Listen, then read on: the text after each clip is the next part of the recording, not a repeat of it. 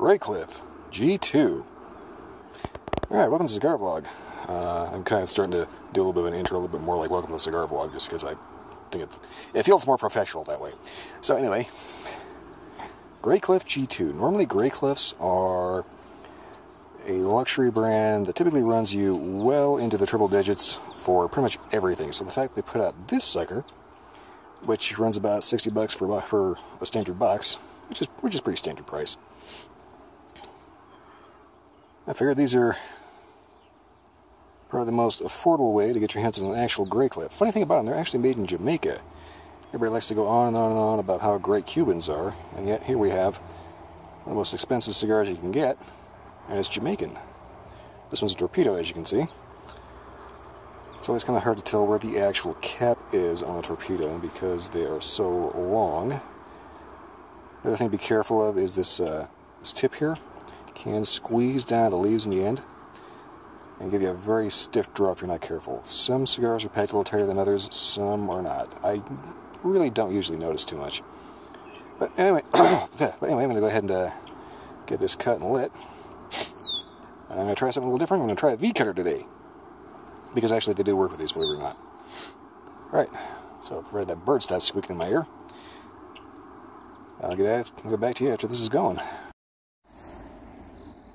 Okay. This light almost didn't happen.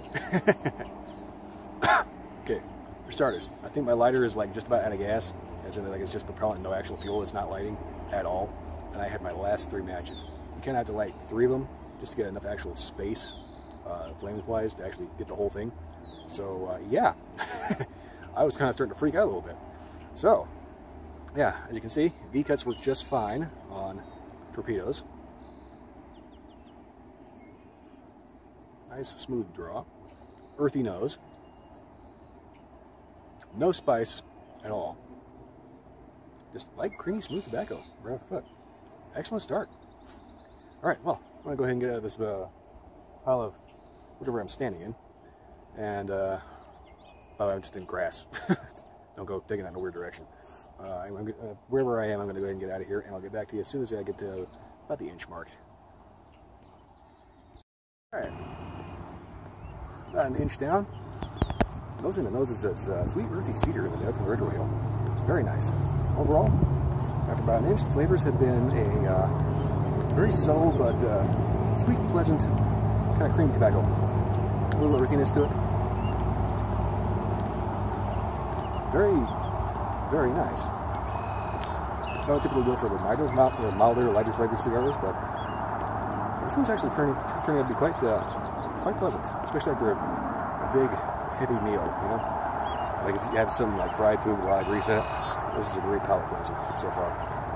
Subtle sweet, just nice overall. All right, I'm gonna keep going to the halfway point. We'll see if anything changes. See you then. All right, at the halfway point, now just fell off. So far I've noticed that the uh, overall flavor I was noticing in the retrohale, the kind of earthy cinnamon, kind of crept its way to the main body of the cigar, about that, a little bit past the first inch. It's just a nice, subtle, sweet kind of cinnamon roll kind of flavor. Not really bready or anything, just a little, a little sweet, a little creamy, and uh, it's got kind of like a bakery, cinnamony, like really high quality cinnamon kind of thing. You know, like this, you know, kind of cinnamon that uh, not necessarily blow your head off cinnamon flavor, but tastes like it came from somewhere. You know. Not getting a whole lot of mouth dry or anything like that, so that's always good. Seems to be smoking fairly decently. Well, it's just a warm, nice, inviting looking little cigar. The aroma has those classic uh, cigar lounge kind of smell. You know, just it smells like an old-fashioned cigar. You know, it's good for pretty much any any time of day you can think of. You can go ahead and wake up with them, finish your day with them.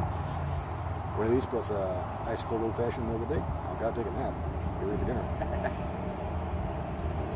That's a Brody don't have anything interesting going on today. That's it though. Pouring pretty well so far. Burns a little off kilter, but uh, you could probably consider that being that rush light. But overall, no major issues. Don't need to touch up. Not sure I can touch up, but. Uh,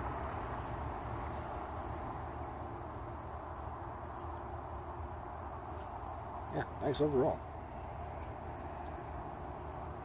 I want to say a little cocoa, little cocoa-ish. You know, it's like it's like when you get a cinnamon roll. You know, you smell that kind of cinnamon bread cooking. You know, excellent cigar. All right. I'll do a final update right about the band. This actually has a traditional band in the traditional spot, so that's to be easy to figure out. And beyond that,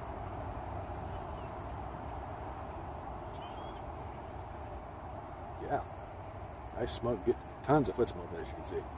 Well, I don't know if you can see it or not, but it's just pouring off the foot smoke. So don't smoke this in the car. All right, I'll get back to the band. All right, we're getting done band here. Another nice quiet night. Here comes another car. Great. Anyway, this is going to be my final update for the cigar. So far, right about the midpoint. Right about the midpoint, you got a slightly cocoa note. I've noticed the ash gets this kind of weird flowery thing going on. Is, uh, so you kind of want to be careful if you're smoking in a confined space with a car or something. And here's another car. And a couple more. Okay. Anyway, so very nice, clean, unobtrusive. Pretty good cigar for any time. Yeah, that I really don't have much else to say about it. Other probably just going to wash out from here. So, good cigar, big one. Cheapest crinkles you can get. I'd say definitely worth the money. So, if you like this video or any other video, like, subscribe, hit the little bell button next to it so you get a uh, little update whenever, every time I post.